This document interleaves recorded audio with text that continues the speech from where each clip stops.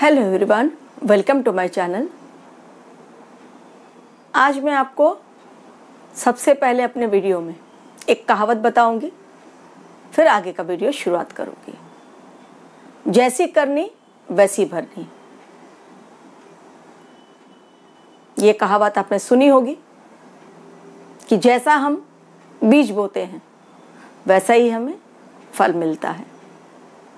आज मैं आपको बता रही हूँ चाइना का हाल चाइना ने लोगों को मौत की नींद सुलाने के लिए और अपने आप को सुपर पावर घोषित करने के लिए, लोगों को बतलाने के लिए कि मैं ही सुपर पावर हूँ, मैं ही सबसे सर्वशक्तिमान हूँ। क्या क्या नहीं किया? लास्ट ईयर की जर्नी याद कीजिए। कोरोना के रूप में वायरस तैयार करके पूरे वर्ल्ड को उसने तबाह करने की सोची। आज उसी चाइना में फिर से एक बार कोरोना नए रूप में पहुँच गया है और अपने ही बिछाए हुए जाल में चाइना बुरी तरह फंस चुका है। खबर जो आ रही है, जो मिल रही है, चाइना बाहर निकालना नहीं चाह रहा है, वो तो अपने सीक्रेट्स जल्दी बताना नहीं चाहता है। तो कहा जा रहा है कि बहुत भयंकर रूप से कोरोना का फिर से अटैक चाइना में हो गया है। और इतना भयंकर कि मृत्यु दर, वो तो बतलाने में डर रहा है।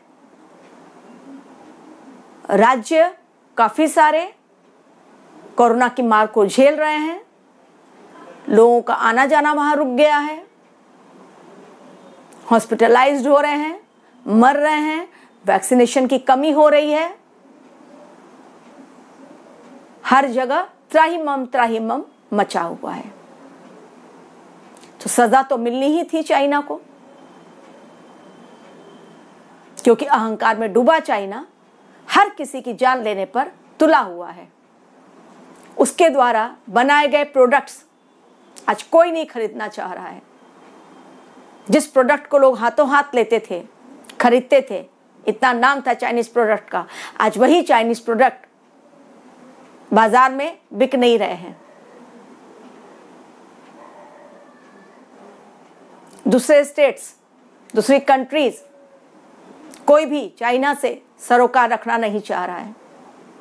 सब लोग दूर भाग रहे हैं। तो ये सब क्या है? ये चाइना को अपने किए हुए कर्मों का फल भुगतना पड़ रहा है। इस कल युग में मैंने कहा है, जो जैसा करेगा।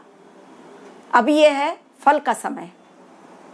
भगवान किसी को बख्शेंगे नहीं। तो सुपर पावर चाइना, आज है बुरे हाल में। बुरी तरह कोरोना का अटैक हुआ है।